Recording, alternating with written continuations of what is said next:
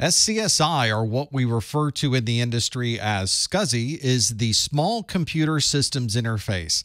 This is a standard interface that can be used to connect to storage devices, scanners, printers, and other devices on your network. This was originally designed so that you could have many devices connected to one single interface on your computer by daisy chaining multiple devices together. And many of the SCSI standards support up to 16 devices in one of those single SCSI chains. This is a standard that's been around for quite some time, so you'll find a number of different SCSI standards with different types of interfaces and different types of cables for each one of these standards. One of the newest standards is iSCSI or SCSI over IP, and certainly you'll find a lot of SCSI implementation in virtual networks. And if you look at some of the other connectivity that we use for storage devices, such as PATA, which is a parallel connectivity, and SATA, which is serial connectivity, SCSI can support both parallel and serial connectivity, depending on which type of format you're using for that SCSI connection. Before we had the SATA standard or was able to use USB to be able to connect our peripherals, we used SCSI. SCSI was used to connect our scanners and our CD-ROM drives and our tape backup systems, and we had SCSI connectivity inside of our computers and external interfaces that you could also use. And as I mentioned earlier, you can daisy chain these devices, so a single interface on your computer might support eight different SCSI devices on a narrow bus, or up to 16 if you're using a wide bus version of SCSI. One of the benefits of SCSI and the protocols that are used to communicate over this SCSI connection is that it is a very intelligent form of connectivity. You simply provide the basic connectivity, and SCSI takes care of identifying what devices are in that chain and how to access those devices over the SCSI connection. And although SCSI doesn't have the popularity that it had in the past, you may still find systems that have SCSI drives or other types of SCSI connectivity. And SCSI as a standard is one that's used extensively on our virtual systems. Here's a somewhat dated motherboard that does have a SCSI connector on it. This motherboard also has a floppy drive connector and an integrated drive electronics or IDE interface. Today we refer to these interfaces as PATA interfaces. On the left side is the SCSI interface. This is an Ultra 3 interface that has 68 pins on this connector. If we turn the motherboard on its side, we can see exactly the pins that are used for this particular cable. The cable itself is a 68 pin cable. You can see where it plugs into the motherboard and you can see along the length length of this ribbon cable are connections that you can use to attach other SCSI devices.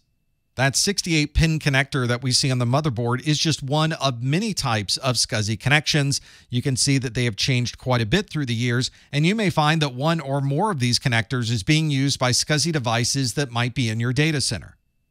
When you have a single interface on your computer that you're connecting multiple devices to, you need some way to be able to differentiate between all of these separate devices you're connecting to the same cable. In SCSI, we're able to accomplish this by using a SCSI ID number. So every device you would connect to that particular SCSI cable would all have a separate ID number associated with it. So your computer might be a SCSI ID 0. You might be connecting to your computer a hard drive on that cable. That can be assigned an ID number number of two. And you might have another device on that cable, such as a CD-ROM, and you would assign a separate SCSI ID to that device, for example, SCSI ID 3.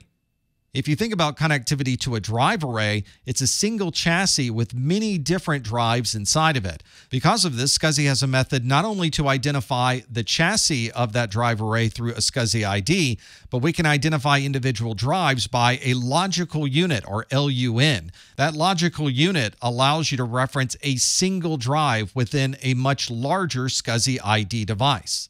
It's also very common on this cable that at the end of the cable you place a SCSI terminator. The SCSI terminator allows you to have multiple devices on this wire and still be able to communicate across all of those devices simultaneously. One of the more recent standards for SCSI is a serial attached SCSI or SAS. These devices are much simplified over the older SCSI configurations that require you to manually set a SCSI ID and to always have a terminator on the connection. With these newer SAS devices, you don't have to worry about setting jumpers for SCSI IDs, you don't have to install any terminators or make any additional settings to be able to use those serial attached SCSI devices. Here's the back of an external SCSI storage device. You see we have a spot for power. Looks like there's a fan inside of this device or some type of cooling.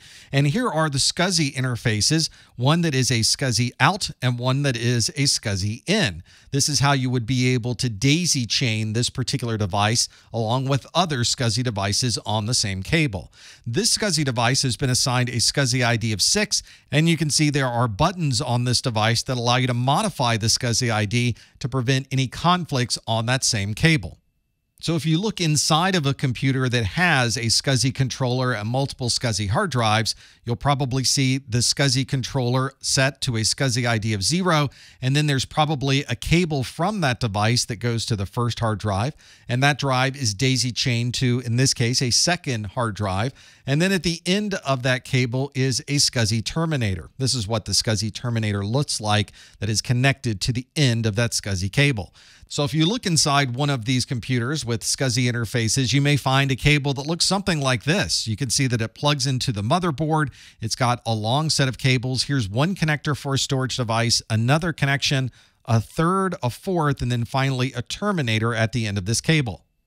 So inside of a computer, we would use a cable like that to connect to the motherboard, and then one of those other connectors would connect to the SCSI drives that are inside of our system. Here's a view of this SCSI connection outside of a computer case. You can see the motherboard is on the top with that SCSI connector, and that single ribbon cable wraps around, and one of the interfaces on that ribbon cable connects to a storage drive.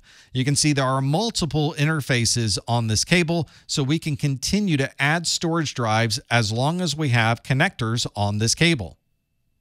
In our next video, we'll talk about how we moved from the PATA or parallel communication to SATA or serial communication, and SCSI has had a very similar evolution. One of the more recent standards for SCSI is the serial attached SCSI, where we went from parallel communication to a serial communication. This not only increased the total throughput that we could have in our systems, but it greatly simplified the implementation in our computers because this is a point to point connection between the motherboard and the drive. We no longer have these cables with multiple interfaces or devices with multiple SCSI interfaces because there's no more daisy chains. We also removed the need to have a terminator because the only thing on this serial attached SCSI connection is the controller on one side and the hard drive or storage device on the other. This gives us the control and management of a well established SCSI set of protocols, but it also provides us with the speeds we need for our most modern storage devices. Here's a serial attached SCSI drive. You can see it looks very similar to a SATA drive, but the connectors on the back are slightly different and they do require a different set of connectors. An example of this is this very large connector that is a high density internal SAS connector that you would use inside of your computer. And of course, there are also serial attached SCSI arrays so that you can connect many different serial attached SCSI drives into this single chassis.